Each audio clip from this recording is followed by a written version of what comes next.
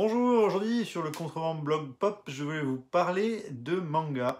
Et je vais vous parler du meilleur manga que je connaisse et que tout le monde doit avoir lu, c'est Akira, Akira de Katsushiro Otomo, euh, publié chez Glénat.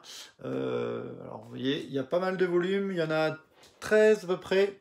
Alors Akira, c'est en 2030, dans un néo-Tokyo euh, futuriste, euh, un gang de euh, motards, de jeunes qui se retrouvent confrontés à des phénomènes, un phénomène inexpliqué, où ils vont croiser des personnages des pouvoirs psychologiques euh, qui ont été des, sujets d'expérience.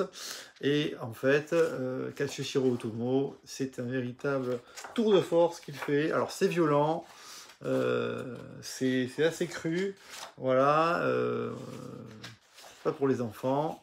Mais alors Akira, c'est véritablement une tuerie qui, qui s'est donc euh, découpée entre 82 et 90, avec en 88 l'adaptation cinéma le même Katsushiro Otomo, qui a marqué des générations avec une, une, superbe musique et une animation terrible. Donc Akira, c'est absolument à voir ou à lire. Euh, il y a eu beaucoup de tomes dans le, qui, sont parus, donc euh, euh, tome 2 chez Glénat, tome 3. Alors moi je me souviens qu'à l'époque, j'attendais avec impatience la sortie de chaque tome pour voir la suite. Voilà, alors là c'est en couleur, ça suit dans le bon sens. C'est pas comme les mangas japonais qui sont en noir et blanc et qui se lisent à l'envers généralement. Donc, vous voyez, la qualité du dessin dans un univers un petit peu euh, inspiré euh, à la Blade Runner. C'est euh, de la science-fiction, hein. et c'est absolument génial avec l'armée qui va s'en mêler pour retrouver ces personnages. Donc les personnages Kaneda, le motard, et Tetsuo, personnage qui a des, qui après se met à avoir des pouvoirs développer des pouvoirs psychiques, deux copains qui vont se retrouver euh, à s'affronter euh, dans un néo-Tokyo euh, où la guerre civile couve et les politiques qui se...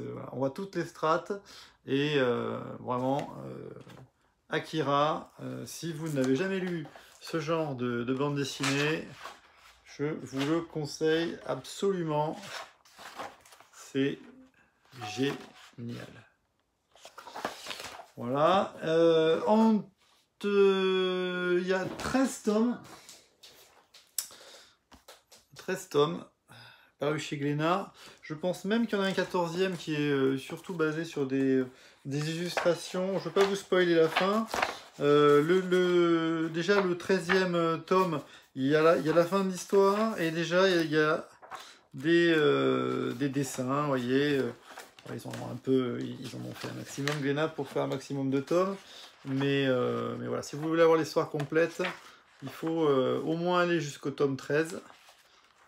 Et euh, Akira, c'est de la bombe.